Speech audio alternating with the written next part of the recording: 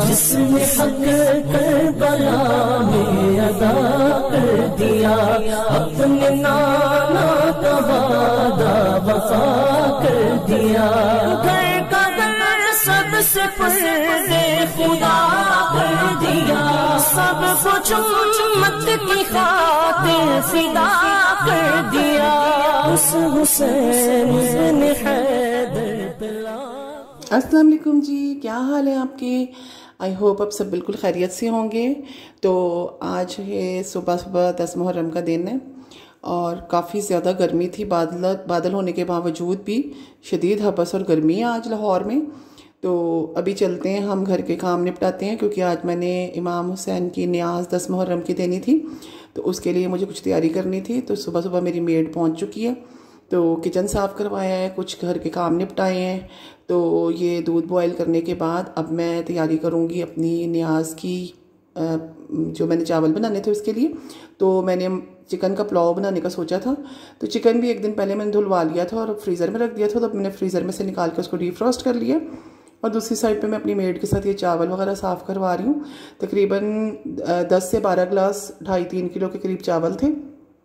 और दस बारह प्याज बारीक काट लिए थे हमने, और दस बारह ही टमाटर थे, बीस पच्चीस हरी मिर्चें थी, और ये देखे चावल अच्छे से साफ़ कर लिए थे हमने। अदरक लहसन की पेस्ट मेरे पास ऑलरेडी फ्रीज़ की हुई, मौजूद थी, बनी हुई। तो अब मैंने तैयारी शुरू की है अपनी चावलों की। तो चावलों के लिए सबसे पहले मैंने ये तकरीबन ढाई कप के करीब ऑयल डाल दिया इसमें। पतीले में बड़े सारे, बहुत गहरा और बड़ा पतीला ये मेरा। तो इसमें मैंने आठ दस के करीब जो प्याज थे, बारीक बारीक काटे हुए थे, बड़े साइज़ के वो डाल दिए और दूसरी साइड पे मैंने चावल भी धो के अच्छे से भिगो लिए। एक बड़े से पतीले में भी भिगोए हैं, क्योंकि छोटे उसमें तो पूरे नहीं आ रहे थे, ये ज़्यादा थे बहुत मकदार में। तो ये अब मैंने शुरू कर लिया अपना पुलाव बनाना। तो इसमें जो मसाले जाएँगे, आपको इसके मसाले, दूसरे जो हैं प्याज, टमाटर, अदरक, लहसुन तो मैंने बता दिया। इसके अलावा मैंने जो चीज़ें इसमें डाली थी, उसमें तकरीबन ये आठ चम्मच के करीब नमक के हैं, आठ बड़े चम्मच। और ये दो बड़े चम्मच ज़ीरे और काली मिर्च और लौंग है इसमें। और इसमें ये है दालचीनी आठ दस, छोटी बड़ी इलायचियाँ मिक्स तीन चार और दो तीन स्टार अनीस। और इसके अलावा ये तीन टेबल स्पून के करीब मोटा मोटा कुटा हुआ सूखा धनिया जाएगा इसमें। ये तो हरी मिर्चें मैंने आपको पहले नोट करवा दी थी। और कुटी हुई लाल मिर्च मैं थोड़ा स्पाइसी करने के लिए डालूँगी इसमें दो से तीन टेबल स्पून के करीब। तो मैंने जब प्याज डाला था गरम घी में तो मैंने साथ उसके ये तमाम गरम मसाला नहीं ऐड किया था क्योंकि ये जला हुआ मुझे नहीं पसंद। तो जब ये थोड़ा सा हो जाएगा प्याज लाइट पिंक पिंक सा तो इसमें मैंने गरम मसाला फिर ऐड किया था। और इसको हमने अच्छा डार्क ब्राउन करना ताकि चावलों पर अच्छा सा इसका कलर आ जाए। तो इसके लिए मैंने इसको डार्क ब्राउन कर लिया है।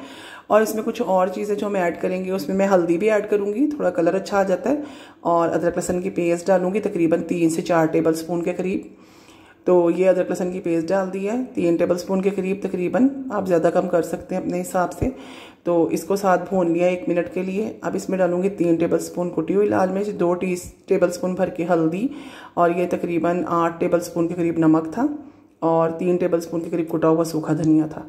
इन सबको बस एक मिनट के लिए हमने फ्राई करना है तमाम मसाले के साथ और हरी मिर्चें डाल देनी है। इसके बाद बारीक, बहुत बारीक कटी हुई हरी मिर्चें और इसके बाद टमाटर ऐड कर देने ये सब तमाम चीज़ें डालने के बाद थोड़ा पानी ऐड करके हमने टमाटरों को अच्छा सा भून लेना है, यानी कि अच्छे से नरम हो जाएँगे तो फिर हम गोश्त ऐड करेंगे। तो इसमें थोड़ा पानी डाल के इसको ढक देंगे, कवर कर देंगे और वेट करेंगे पंद्रह बीस मिनट के जब तक टमाटर थोड़े नरम नहीं हो जाते। तो इनको अच्छा से भून लेंगे इस तरह टमाटरों को, जो सॉफ्ट सॉफ्ट हो जाएँगे। आप चाहें तो इसको मैश भी कर सकती हैं। मैंने इतना नहीं मैश किया था, वैसे ही सॉफ्ट थे बहुत टमाटर। अब चार से, चार, साढ़े चार किलो के करीब गोश्त था मेरा, ये चिकन का वो ऐड कर दिया मैंने और इसको अच्छा सा फ्राई करना है। तो इसको फ्राई करने की तो नौबत ही नहीं आई, क्योंकि इसमें बहुत ज़्यादा पानी था। चिकन ने पानी छोड़ना शुरू कर दिया तो इसी में चिकन भी मेरा टेंडर हो गया था। तो मैंने इसको तकरीबन दस मिनट के लिए ढक दिया था तो इसने ढेर सारा देखे पानी छोड़ दिया रिलीज़ करना शुरू कर दिया। तो इसी में मैंने बीस पच्चीस मिनट के लिए और मीडियम लो हीट पर ढक छोड़ा इसको। तो देखिए अच्छा सा, इसका पानी खुश्क हो गया अच्छा सा भुन गया और टेंडर भी हो गया। तो जब ये खूब अच्छे से टेंडर हो जाए, भुन जाए और इसका ऑयल रिलीज़ होना शुरू हो जाए तो आपने इसमें पानी डाल देना मैंने तकरीबन। इसमें तीन लीटर से भी ज़्यादा पानी डाला था, क्योंकि मेरे पास दस गिलास के करीब चावल थे तो उस हिसाब से पानी काफ़ी ज़्यादा डाला था मैंने। और बाद में मुझे जब कम लगा, चावल ऐड करने के बाद भी मैंने तकरीबन एक कप के करीब और पानी इसमें ऐड किया था। तो ये चावल ऐड कर दिए और इनको अच्छा सा मिक्स कर लेंगे इसके अंदर तमाम को। और थोड़ा सा पानी इसके बाद मैंने तकरीबन एक से डेढ़ कप और ऐड किया था।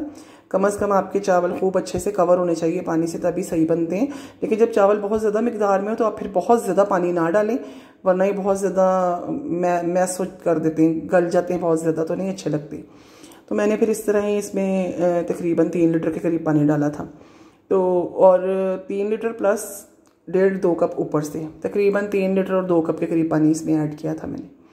तो ये देखिए, अब अच्छे अच्छे से फूलना शुरू हो गए हैं चावल। तो अभी इनमें नमी मौजूद है, लेकिन तो मैंने इसको पाँच मिनट के लिए बहुत लो हीट पे फिर दोबारा कवर कर दिया था और उसके बाद फिर मैंने इसमें कपड़ा देकर तो इसको पूरे पंद्रह मिनट के लिए बिल्कुल लो हीट पर दम पर लगा दिया था। तो पंद्रह मिनट के बाद इसको जब मैंने दम खोला तो बहुत ज़बरदस्त से चावल बन चुके हुए थे, बहुत ही टेंडर भी थे और थोड़े स्पाइसी भी थे, क्योंकि आम रूटीन में मैं इतनी ज़्यादा इसमें स्पाइसेस नहीं डालती, लेकिन ये देख के लिए समझें, देगी स्टाइल का थोड़ा मैंने पुलाव बनाया था। नौ, दस मुहर्रम की न्याज के लिए तो थोड़ा मैंने मसाला ज़्यादा इसमें रखा था। तो ये देखिए कितने मज़ेदार से चावल बन गए थे हमारे ये। तो अब हम इसको अच्छा सा मिक्स कर लेंगे, ध्यान से बहुत, कि टूटे ना चावल। ये मैंने एक प्लेट ले ली थी प्लास्टिक की मेलामाइन की तो उससे मिक्स किया था छोटी प्लेट से। और अब हम बॉक्सेस तैयार कर रहे हैं बांटने के लिए। तो ये बॉक्स जब तैयार हो जाएँगे तो हम इनको तमाम गुरबा में और अपने नेबर्स में इसको तकसीम करेंगे। तो आज का व्लॉग बस मैंने इधर तक ही बनाया था, क्योंकि आज काफ़ी ज़्यादा काम भी थे घर के, और इसमें भी मैं काफ़ी ज़्यादा थक गई। तो मैंने मज़ीद शाम का कोई व्लॉग नहीं बनाया था, ये तकरीबन दोपहर तक का मेरा व्लॉग है। तो फिर मिलेंगे नए नए व्लॉग्स और रेसिपीज़ के साथ। मुझे दुआओं में ज़रूर याद रखिएगा, और मेरे चैनल को लाइक कीजिए सब्सक्राइब कीजिए, और देखते रहिए इफ्रस किचन तब तक के लिए नेक्स्ट व्लॉग तक के लिए, और नई रेसिपी के लिए मुझे इजाज़त दीजिए। अल्लाह हाफिज़।